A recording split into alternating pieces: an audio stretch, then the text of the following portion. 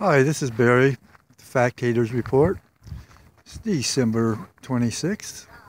Obviously, I'm up here at, at uh, Double Peak. We're going to be talking, since we've just been talking about the UN and their 17 goals, we're going to talk about one that's already here that they're trying to hide. And it's called the Strong Cities Network.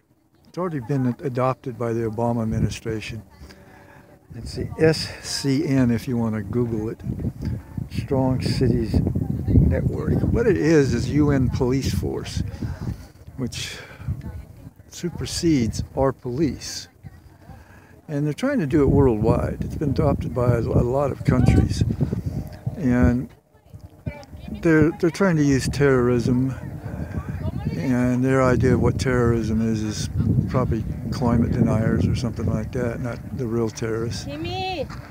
But uh, what you need to do is check that out on Google.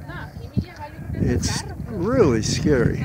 They've already initiated some of the major cities. I'd imagine uh, California be one of the first adopters because they're like that.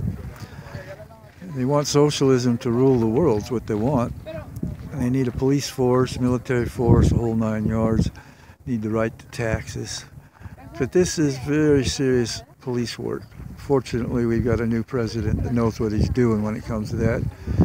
And one of his uh, cabinet members will probably take care of it, but he's going to have to unwind this because Obama did this, well, I guess it's about a year or so ago, and it's way under the radar. They haven't really used it yet, when they get ready to use it, you'll know it. You'll, you'll be shocked. You'll see UN police force out there. How will that grab you?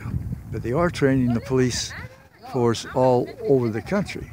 But now they're going to have to undo all that.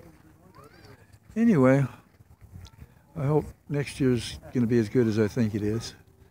All the fact haters have been voted out of office, and that's a good thing.